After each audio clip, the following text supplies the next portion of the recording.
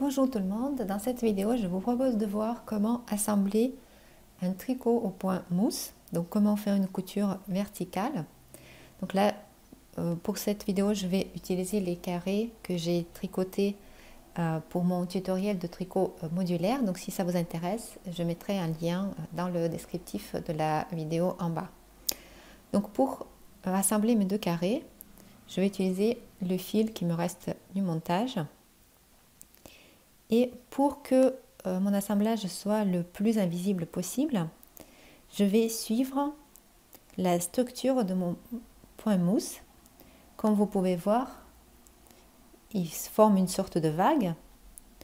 Donc avec euh, le côté en haut et le côté bas, donc un peu le haut de la vague et le creux de la vague. Et donc je vais pour euh, faire la couture, euh, attraper d'un côté le creux de la vague et de l'autre côté le haut de la vague. Donc il faut bien euh, placer votre tricot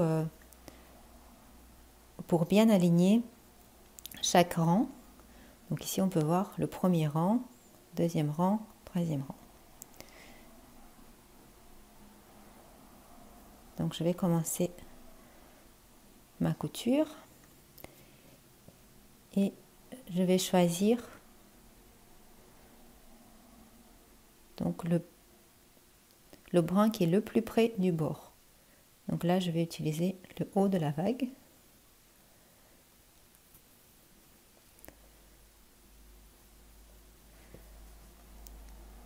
Ensuite, je passe au rang 2 donc je vais utiliser le creux de la vague.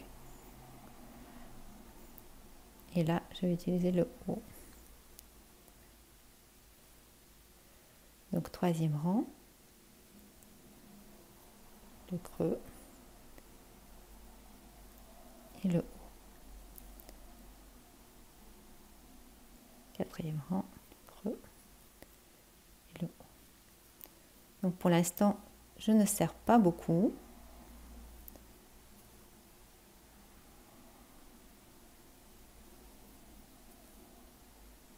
Je vais faire quelques points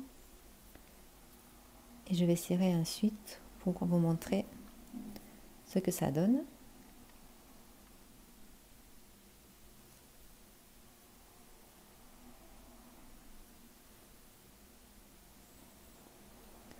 Voilà, donc je vais tirer doucement sur mon fil. Et vous pouvez voir que cet assemblage est quasiment invisible. Donc ça c'est le devant. Et voilà ce que ça donne sur l'arrière.